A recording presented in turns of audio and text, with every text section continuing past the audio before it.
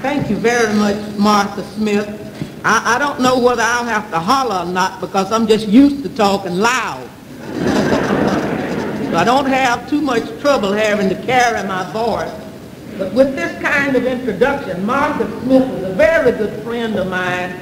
I remember going on educational television with uh, Martha about two years ago here at the university in uh, Wisconsin.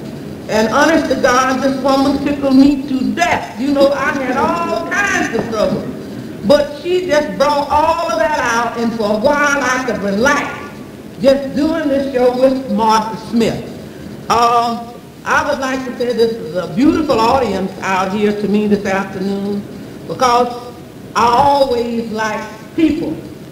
A couple of weeks ago I was doing a show in New York City for NBC in the role of a black woman.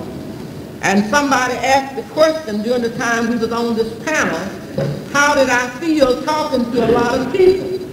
I said, I feel like I always feel because I know out there in front of me is just some little folks. You know, so you don't have to worry about other people. No, you get up and tell them the truth. Now, you might be expecting me to have a long essay written down. That I would have to use my glasses every five minutes and miss where I left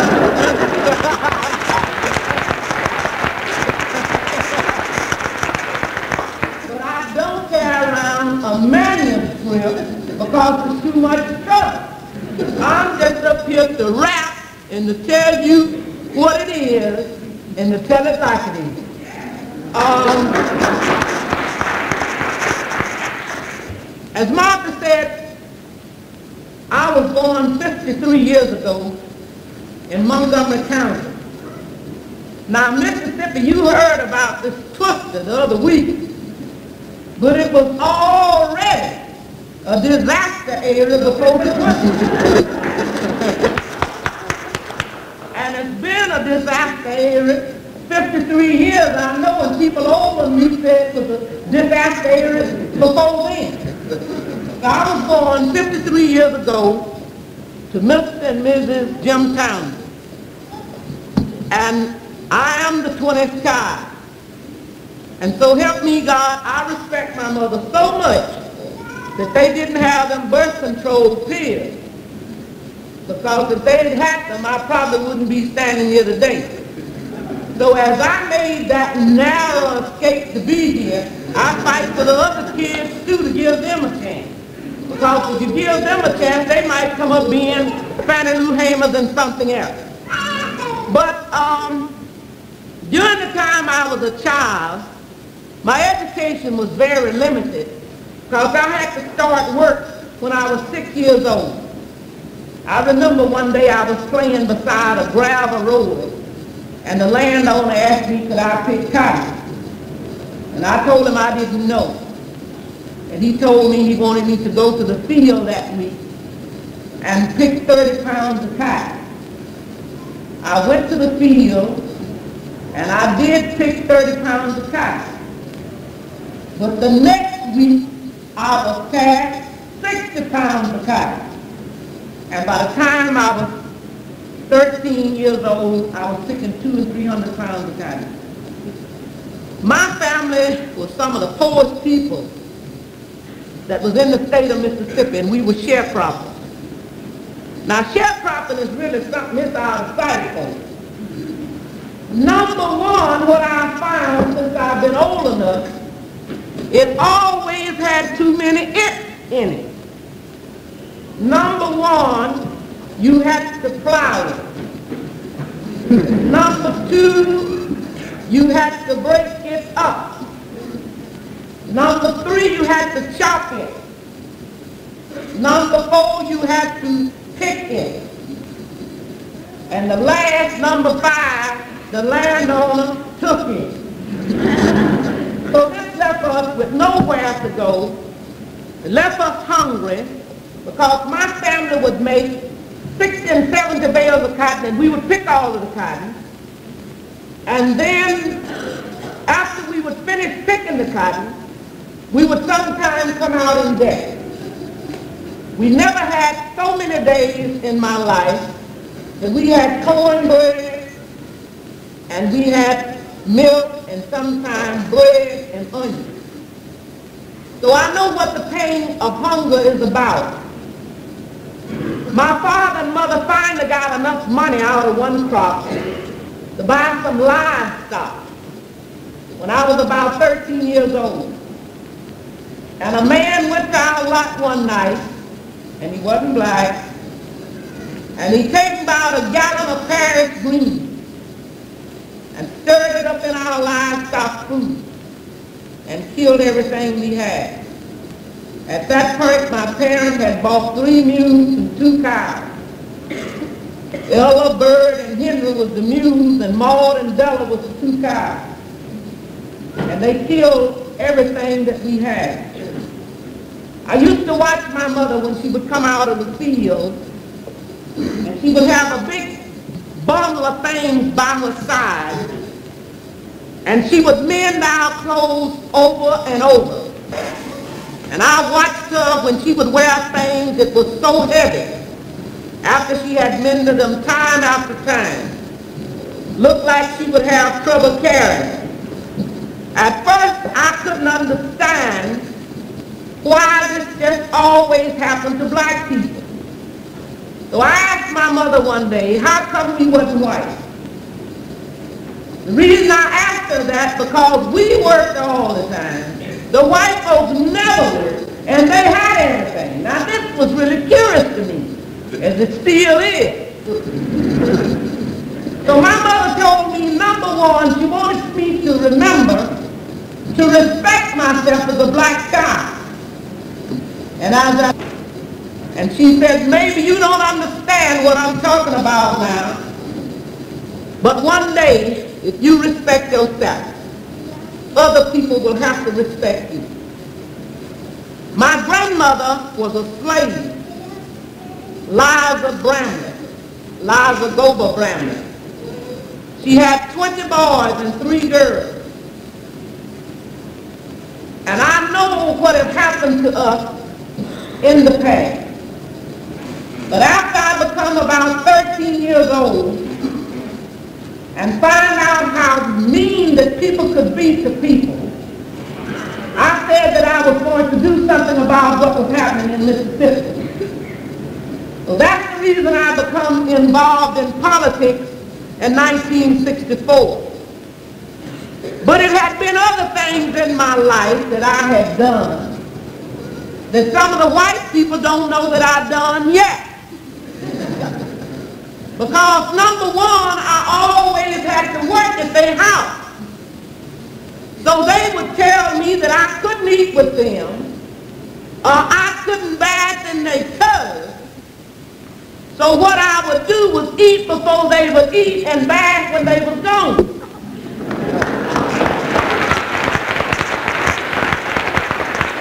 I used to have a real ball knowing they didn't want me in that tub and just relaxing in that bubble bath.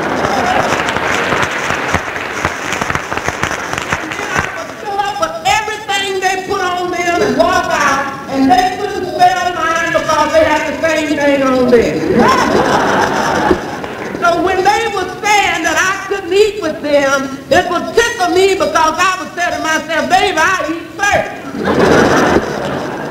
And one of the other things I done when I was a kid, and after I got to be a grown woman, you know, we had to wash, Mom. You know how we would to wash for the white people. And if they had a dance in 50 miles, I wore the best dress. Because I wore them clothes. you know, we, we had, you know, I was rebelling in the only way that I could rebel. So what I'm saying to you, white America, Please don't say what black people can't do because some of the things we've been already doing. The sad thing that has been in the whole country is what white America done to us and how we can forgive. When I think about the question that comes up so often about how six million Jews was destroyed under Hitler's administration. I kinship because it wasn't six million of my people destroyed. It was 40 million of my people destroyed as they was bringing my ancestors here on the slave ships of Africa. When I think about the crime that's been committed against us as human beings and as people, I easily for a lot of things.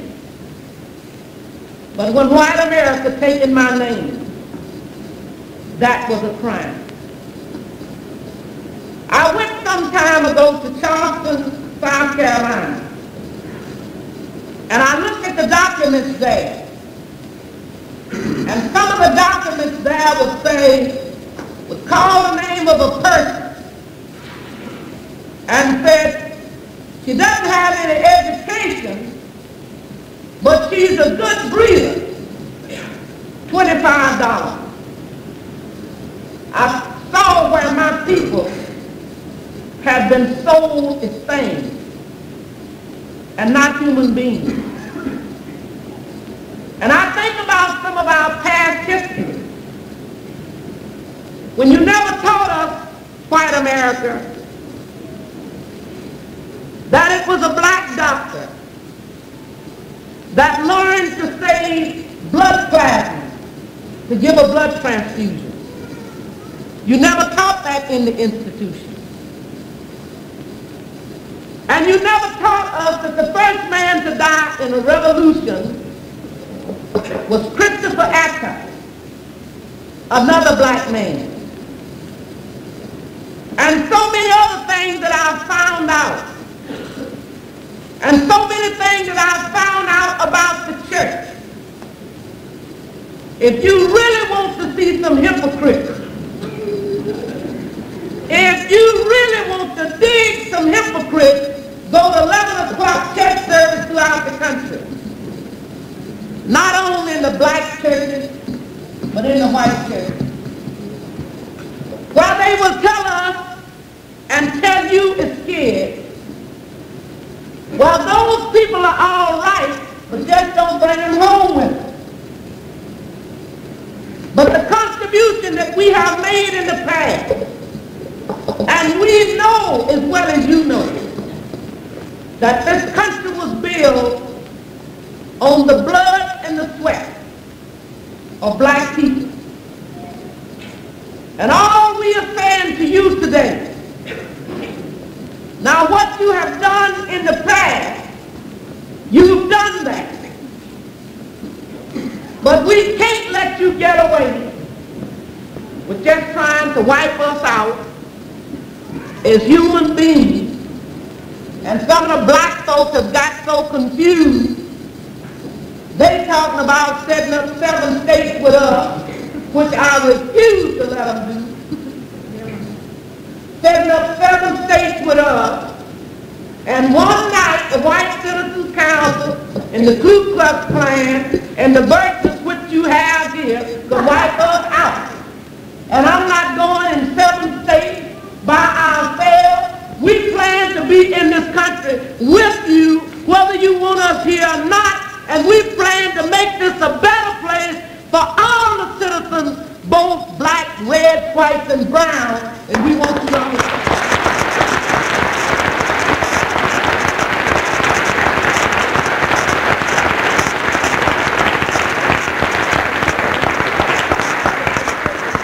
I've never been hung up in all of my work in just fighting for the black. I've never been hung up in that because I know that a lot of black people have given their lives. But I also know it was people like Andy Goodman, Michael Schwerner, and James Chaney that gave their lives in the state of Mississippi that all of us would have a better chance. And when they died there, they didn't just die for me, but they died for you because your freedom is shackled and chained to mine. And until I'm free, you are not free either. And if you think you are free, you drive down through Mississippi with your Wisconsin license plate, and you will see what I'm talking about. These are the kind of changes that we have to have. And these are the kind of changes we are going about.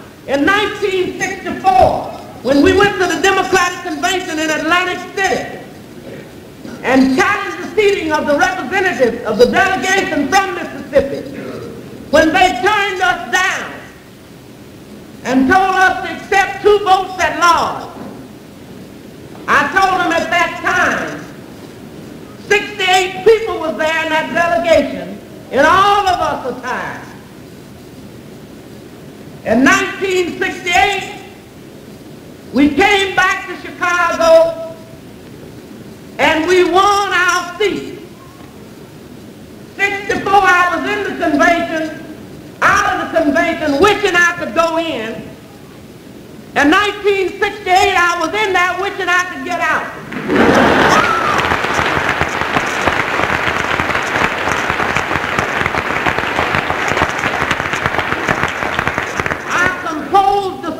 when I was there, jingle bells, machine gun shells, convention way. because I had never in my life seen in the land of the free and the home of the brave, which we have translated in Mississippi as the land of the tree and the home of the grave. I have never seen a convention that had to be held with fixed bayonets with right. That means they would stick you if you stand there and shoot you if you run. I was in that convention and I made, I made some of them guys they had trailing me, I made them out miserable. I don't know what he's, a FBI, a Central Intelligence Agent, or what the hell he was, but he was there. Seeing what happened all my life, I've been behind white people and I watched. See, that's why you made your mistake, white America. You put us behind you and we watch. Now we know you and you don't know us.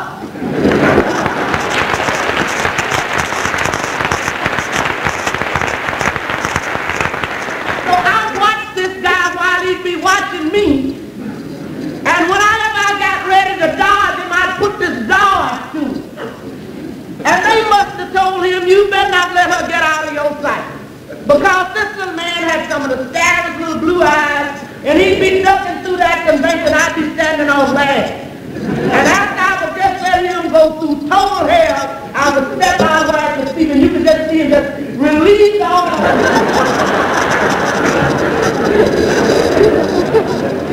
You would have to been in that convention to know what we are faced with today when we say with the people, for the people, and by the people, that's a lie. It's with a handful, for a handful, by a handful.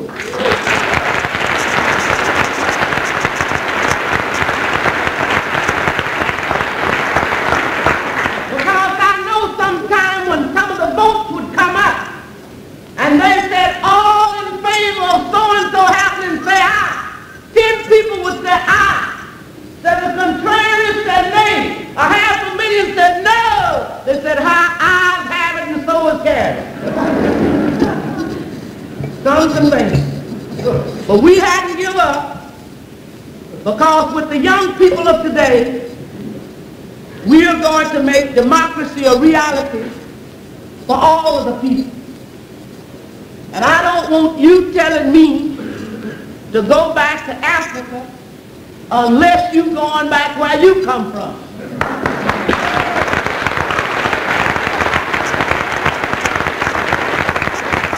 I got a telling me to go back to Africa. And ever since that time, it's been three times a week I said, when I'm in a white audience, I said, we'll make the deal. After you send all the Koreans back to Korea, the Chinese back to Chinese, the Jewish people back to Jerusalem, the Koreans back to Korea, and you give the Indians their land back, and you get on the Mayflower from which you come, and home. Right? You don't agree, but as we all here on borrowed land, then we have to figure out how we gonna make things right for all the people of this country.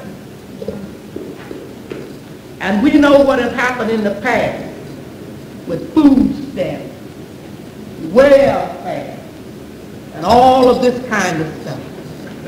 And it's not only in the South, it's up South and down South,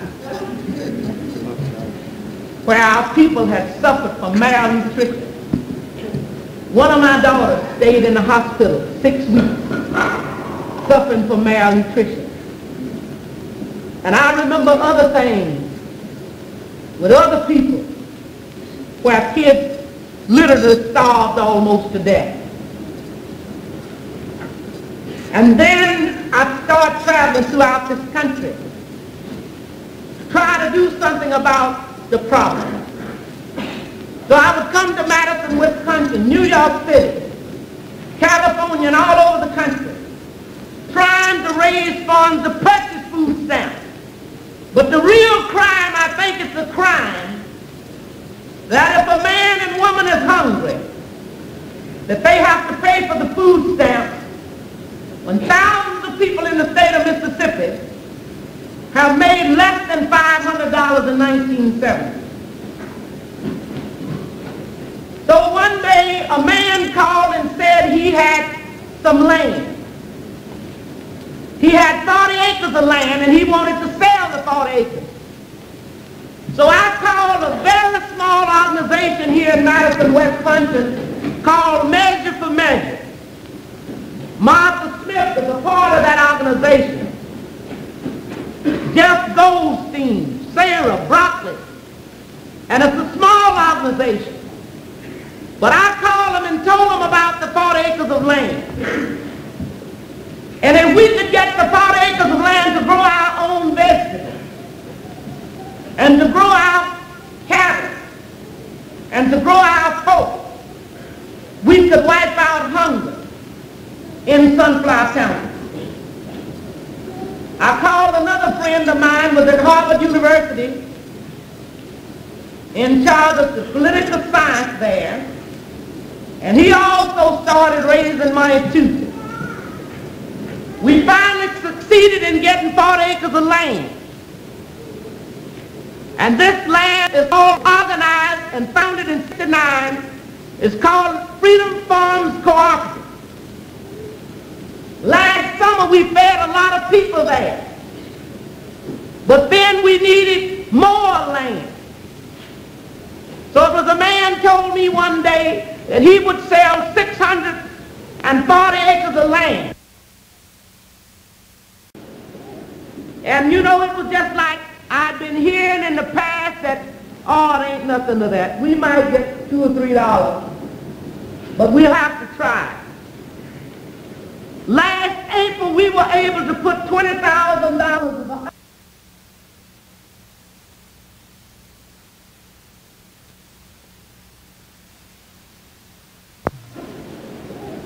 And you know, it was just like I'd been hearing in the past that Oh, it ain't nothing to that. We might get two or three dollars, but we'll have to try. Last April, we were able to put $20,000 as an option on the 640 acres of land. Then on the 14th of January 1971, we finished the down payment of $65,500 on 640 acres of land. And we had enough from that same march out of Madison, Buffalo, and Milwaukee to do that. And we also have about 58 people that's living in decent homes. We put the down payment on that land. So now what we plan to do is to grow our own vegetables, is to grow our own cattle, and to grow our own pork and have a hundred houses in that area. gain any kind of political power unless we have some kind of economic power.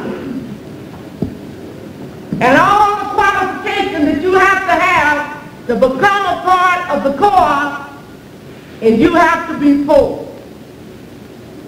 This is the first kind of program that has ever been sponsored in this country in letting local people do their thing themselves.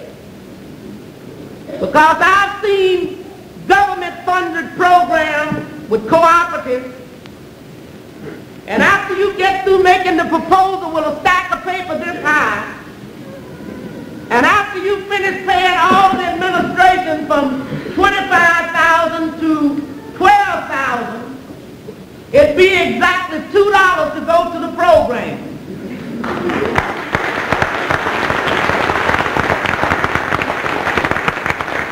The only person that's paid at this point is the secretary. And you tell you don't tell me that you can't change a man's mind by not hating. We have gone through kind, all kinds of pressure. But I refuse to hate a man because he hates me. Because if I hate you because you hate me, it's no different. Both of us are miserable. And we're going to find to have something hated. But as a result of what I can give of myself, that I can love you if you hate me, we have poor whites that's coming into this organization, and we are going to feed not only the black people of Sunflower County, but all the people that's hungry regardless of color. And the young people are the people that made this possible for us. You know, I just about fell out with all of the people my age. I'm 53. And most of them my age are hopeless cases. but I am 53, but I think 19.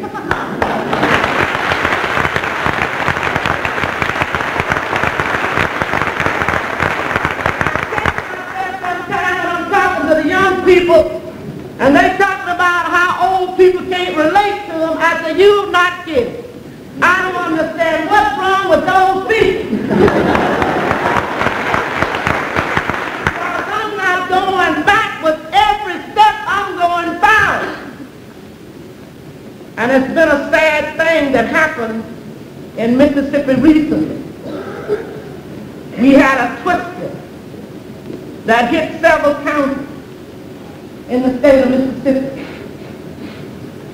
The Red Cross came, and after they was there two days, I told them if I go to heaven and see the Red Cross sign, I would tell the administration to let me go back home.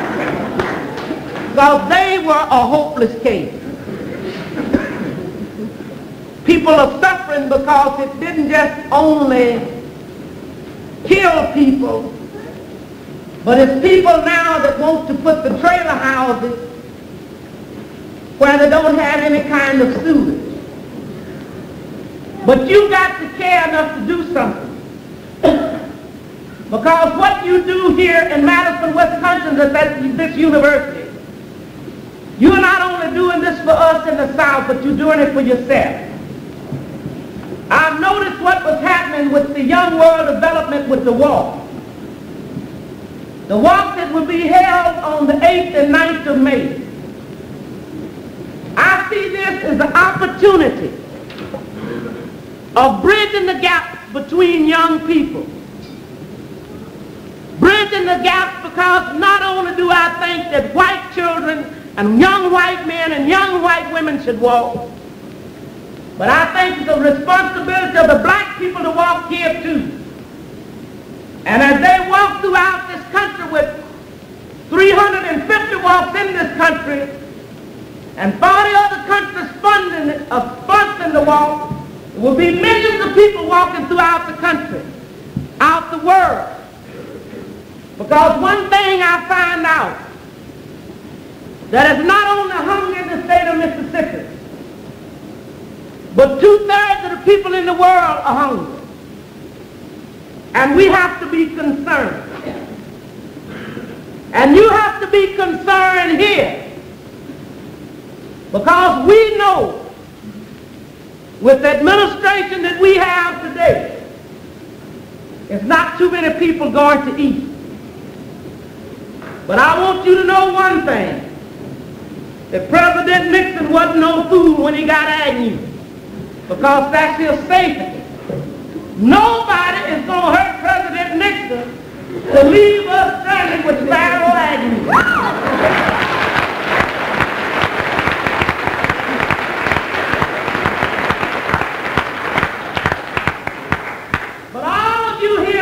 be concerned. Not only do we have to be concerned about hunger, but we also have to be concerned about peace in this country.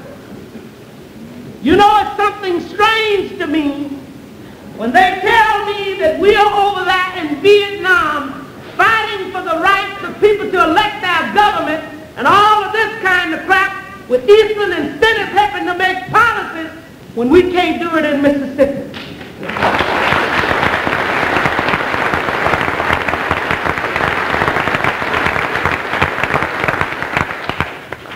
And you young people are going to have help make this change. Because we can't continue on the same way, expanding the war in Vietnam, killing the people over there, and people being shot down in the streets throughout this country sometimes in the name of law and order. I've been to jail. And I've been beaten in jail till my body was hard as metal. And I've been charged with disorderly conduct and resisting arrest. And there's a lot of other young people throughout this country that has been beaten down but I want you to know something in this audience today. A house divided against itself cannot stand. A nation divided against itself is on its way out. We are going to have to stand up and make demands that will make this country worthwhile. Because I have trouble today and I've had trouble in the past few years. when I got out of jail and couldn't hardly sit down, and a man carried me to see the Statue of Liberty, and a woman with the torch and facing another problem.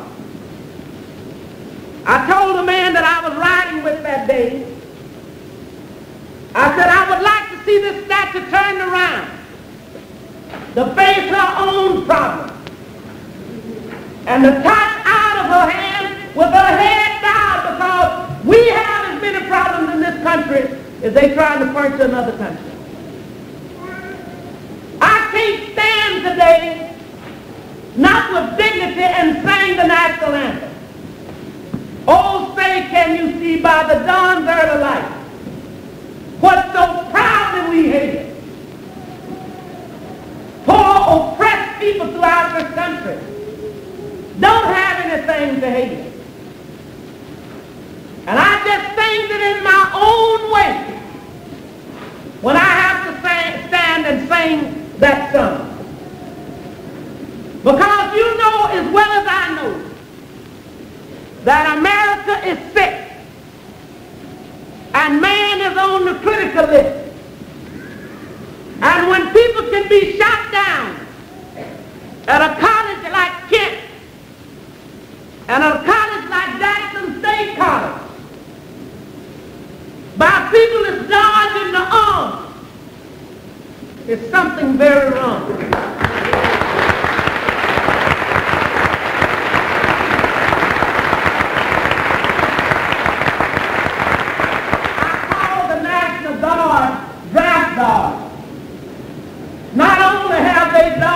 being drafted, but they was caught looting in southern Mississippi after the storm. We have to work to make this a better place. And we have to deal with politics and the history of this country that's not in the book. You know, we've been reading about what was in the book, you know, about Columbus discovered America. And when he got here, there was a black brother that worked up there and said, let me help you, man. And there was some Indians here, too. So how could he discover what was already discovered? The education has got to be changed in these institutions.